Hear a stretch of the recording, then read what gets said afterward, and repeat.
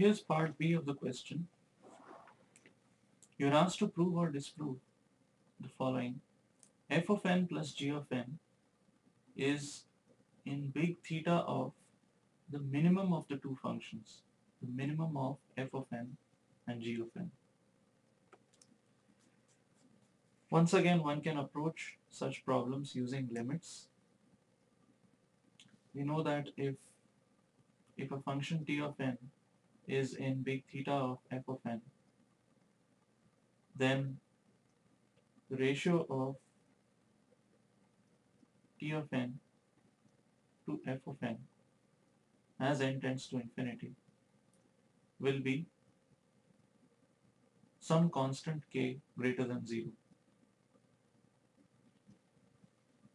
Because if t of n is in theta of f of n, there must exist constants c1 and c2, both positive, such that for large enough n,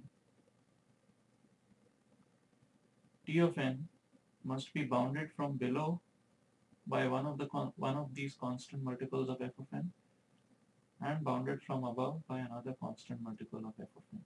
t of n must be sandwiched between two constant multiples of f of.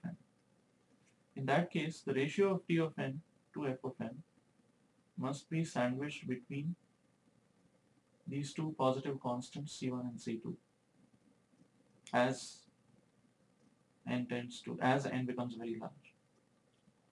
So, if t of n is theta of f of n, then the ratio of t of n to f of n must be some positive constant. Right? It's constrained to be a positive constant here. So, if f of n plus g of n is in theta of the minimum of these two functions, then it must be the case, so assume that this is true, then it must be the case that f of n plus g of n divided by the minimum of f of n and g of n. This ratio must be equal to some positive constant. But is that is that really the case? Is it is this always possible? Without loss of generality, let's assume that the minimum of f of n and g of n is going to be f of n. So f of n is the smaller of the two functions. In that case, this limit is going to be f of n plus g of n divided by f of n, which is 1 plus g of n by f of n. So it's this ratio between g of n and f of n which we need to examine. Is it going to be always true that the ratio of g of n to f of n is going to be some some some positive constant? Well, that's that's that's not that's not always possible. That's not always going to be true because g of n and f of n are two independent functions. So f of n does not have to have the same rate of growth as g of n. f of n does not have to be, uh, g of n does not have to grow at the same rate as f of n. g of n could grow at a larger rate than f of n, assuming that g of n is greater than f of n without loss of generality. The exact form that is, for example, f of n could be 3n square, g of n could be 4n square. In this case, f of n is smaller of the two, but they have the same rate of growth. So even though the minimum of g of n and f of, uh, of f and f of n is going to be f of n, the ratio of g of n to f of n as n tends to infinity is going to be 4 by 3. But what if g of n is 4n cubed and f of n is 3n squared? Now g of n has a larger rate of growth than f of n. So if you're adding two functions such that one of them has a larger rate of growth than the other, for large enough values of n, the contribution to the sum, the relative contribution to the sum of the smaller function is going to tend towards 0.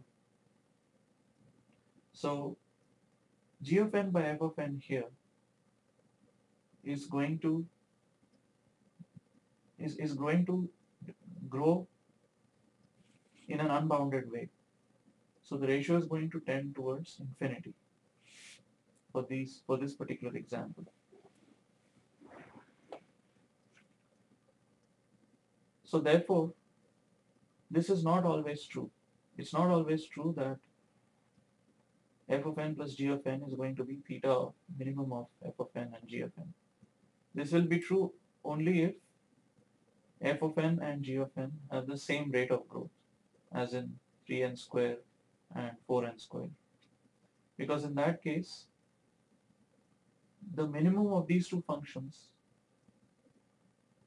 has the same rate of growth as the larger of these two functions, even though this function is minimum, is, is, is lower than, lesser in absolute value than this other function, but both are growing at the same rate. And it's only then that you can say f of n plus g of n, which will also grow at the same rate as both of these individually.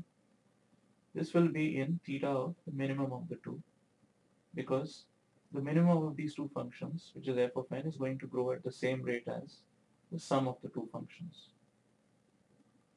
But if g of n is has a larger rate of growth than f of n, then f of n plus g of n is going to grow at the rate of g of n, whereas the minimum of f of n and g of n is going to be f of n.